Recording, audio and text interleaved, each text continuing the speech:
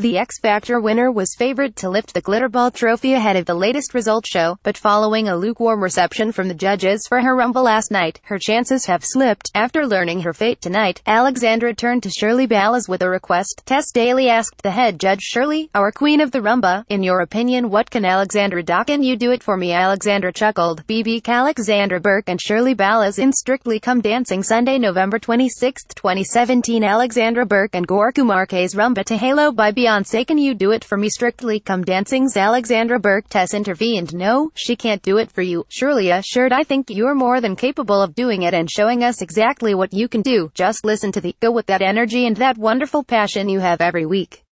You're an amazing dancer, Alexandra. BB Alexandra Burke landed in the bottom two for the first time on Strictly Come Dancing. BBC Susan Calman and Kevin Clifton in tears on Strictly Come Dancing. We have loved every minute of it. Susan enthused following her exit. Everyone from wardrobe, makeup, the runners, Tess Daly and lovely Claudia Winkleman, Zoe Ball on It Takes Two, the beautiful judges who have brought such light into my life every single week, everyone involved in the show, the audience, everyone who voted for us we got far further than we thought we would. She continued to my friends and my family and my lovely wife who's here every single week supporting me. Most of all, I've made a friend for life and Kevin may not have won the glitter ball this year, but he's won strictly for me. Strictly Come Dancing continues next Saturday on BBC One.